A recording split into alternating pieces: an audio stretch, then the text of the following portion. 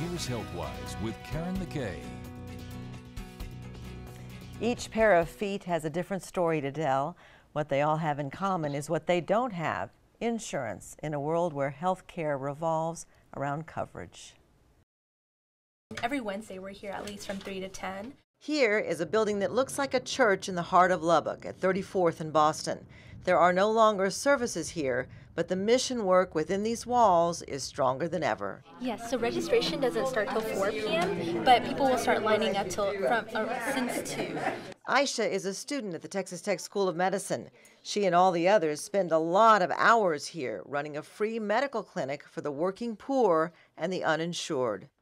Lubbock Impact started in 2007, and we started as a soup kitchen. And now it, we've just grown and grown. Food, clothing, healthcare, and spiritual growth. But it was the addition of the free medical clinic in 2009 that changed everything. And your name? Priscilla.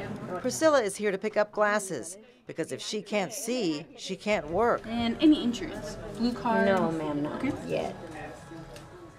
William has a lot of problems that come with diabetes. Well, I'm diabetic, right, and I can't afford to go to the doctor, and they help me out with my medicine. I have depression problems, anxiety. Working is difficult for Patricia because she can't stand up for very long. It's the medica- the medication that I that I have to have. I couldn't get it elsewhere because I don't have the money. I don't have insurance. Why help all these people? Because it's the right thing to do.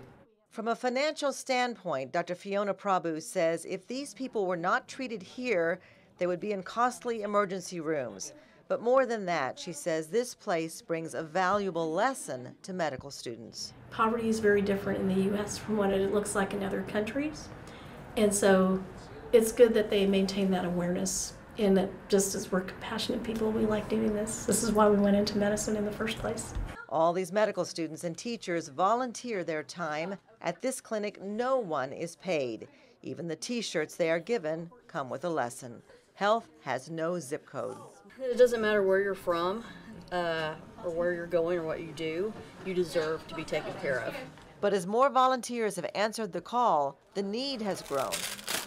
From 16 patients the first night it opened to more than 1,600 patient visits here last year. No, we could not exist without donations because we would not have enough money to take care of the sheer volume of people that access the clinic.